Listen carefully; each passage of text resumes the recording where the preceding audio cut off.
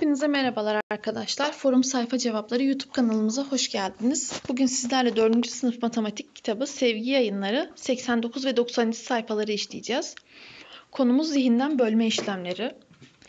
Kaan Bey fiyatı 900 TL olan takım elbiseyi 10 ay eşit miktarda para ödemek üzere taksitle aldı. Kaan Bey taksitleri düzenli ödeyerek borcunu 10 ayda bitirdi. Kaan Bey'in her, her ay ödediği para miktarını zihinden nasıl bulabileceğinizi açıklayınız. Karşılıklı olarak her iki sayıdan birer sıfır silinmesi gerekir. 900 bölü 10 90 olarak hesaplanır.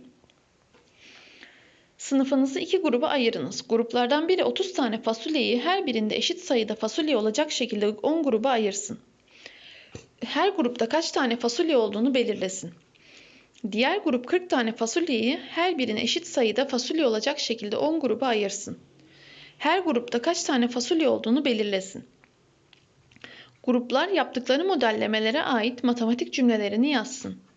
Matematik cümlelerindeki bölünen ile bölümü karşılaştırsın. Bu sayılar arasındaki ilişkiyi açıklasın. Sınıfça yazdığınız işlemleri zihinden nasıl yapabile yapabileceğinizi belirleyiniz. Bu etkinliği sınıfta arkadaşlarınızla birlikte yapmanız gerekmektedir. Aşağıdaki bölme işlemlerinin sonuçları kutularda verilmiştir. Bu işlemleri zihinden yapınız, kutulardaki sonuçları ile eşleyiniz.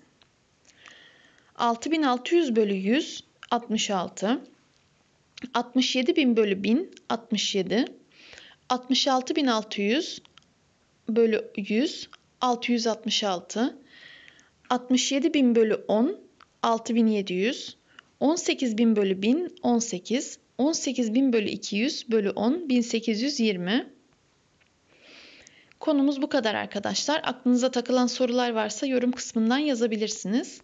Forum sayfa cevapları.com sitemizi de aşağıdaki linke tıklayarak bizi ziyaret edebilirsiniz.